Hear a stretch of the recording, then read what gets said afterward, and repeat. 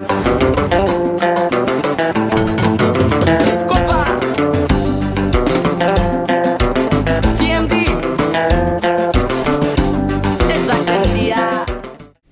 guys, welcome back to my channel. Um, today I'm going to be showing you how I got this beautiful faux loc um, in my eight-year-old daughter hair, which I do her hair every month, so I'm probably going to be posting more videos of that. Um, let's get into it. So I washed her hair the night before and I blew it out. So basically all I'm doing right now is um, parting it and this is going to be, um, I'm doing the crochet method with this. So basically you're going to part it, um, also the rubber band crochet method, um, part it, put rubber bands and then I braided her hair just to basically so it can um because you're gonna basically wrap the hair around it so you don't want none of her hair coming out so I braided it to make it basically I guess stay in the um dreads. So this is what I'm doing right now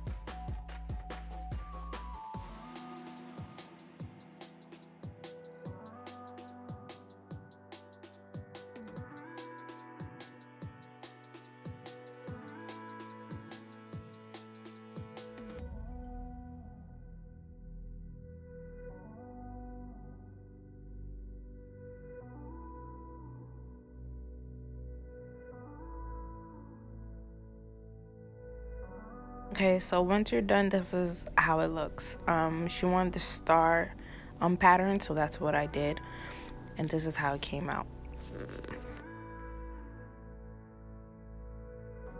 Okay, so you're going to use that um, crochet hook right there. You can get that at your local beauty supply store. It's like a dollar, two dollars, I think. And basically you are um, feeding it through the um, root of the hair and you're going to basically attach the um the loop of the hair onto it close the latch and pull it through. And um, you repeat that for the whole entire um, head. Um, I started to try and feed her hair in it without me unraveling it. I seen that that way did not work for me. So I ended up um, you're gonna see um, within the video that I um, ended up unraveling it and just wrapping it back around her hair. And that way it held better it looked better it looked more natural